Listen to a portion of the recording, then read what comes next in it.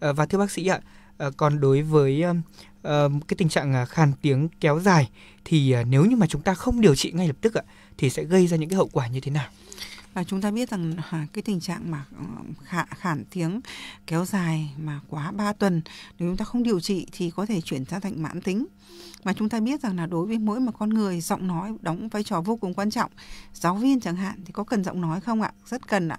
Ví dụ như bạn mc chẳng hạn bạn vâng. giọng nói của bạn có vấn đề thì rất ảnh hưởng đến công việc hàng ngày của bạn rồi. Bạn không thể dẫn chương trình được.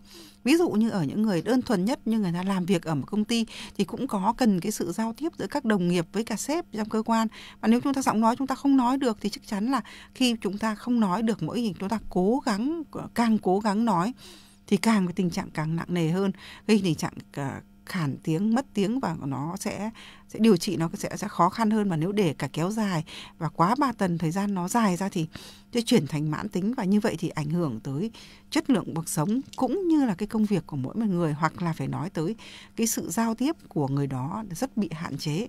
Và người ta sẽ cảm thấy rất là khó khăn trong cái giao tiếp ạ. Vâng,